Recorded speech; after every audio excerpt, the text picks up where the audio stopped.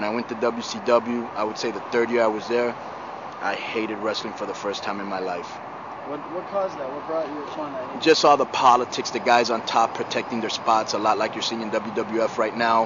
Uh, a lot of subtle racism, you know, holding back all the Latinos. When we all know that one of the reasons we beat Vince McMahon is because those guys were out there doing those weekly car crashes. I mean, there ain't one kid that was like nine to you know 15 years old or even one teenager who didn't love the Mexican style. But you know they were they were too busy uh, you know on the air making fun of them Tony Schiavone and and people like that and relegating them to just you know a fir- first match on the house show. And you know they they dropped the ball. You know it was exciting. It was different. We revolutionized wrestling and wrestling will never be the same